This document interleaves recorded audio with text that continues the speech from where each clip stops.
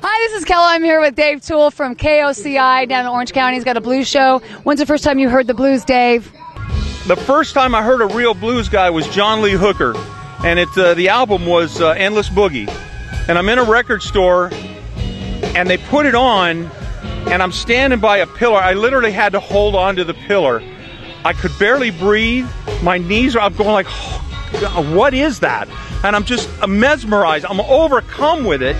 And I go up to the front and I ask this guy, what, I, what is that? He says, well, it's a guy, John Lee Hooker. It's a blues thing. And I said, I want to buy it. There was a Sunday. And he goes, well, I can't sell it to you. This is our only copy. And um, it's open. I don't know. I don't know what to charge you. I said, look, I don't care what you charge me. Seriously, I'm, I need. To, I have to have that. I'm not leaving without it.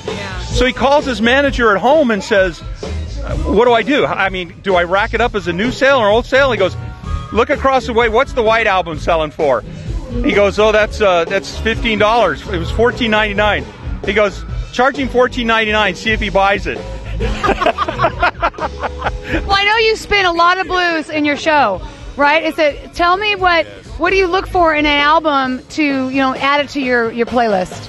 Um, well, our playlist is totally made up of my CD collection. Okay. I have over 3,000 uh, CDs at the current time.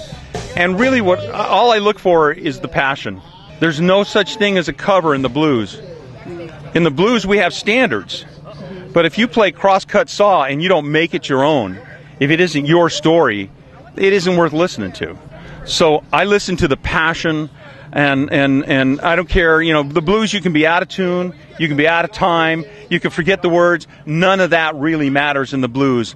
It's all about the heart and how big the heart is, and that's what I'm looking for. And we got a lot of heart here at the Ventura County Blues Festival in Moorpark College. Dave Toole from KOCI. Thank you so much. That's all right. We got good music and hot chicks. What more do you want, man?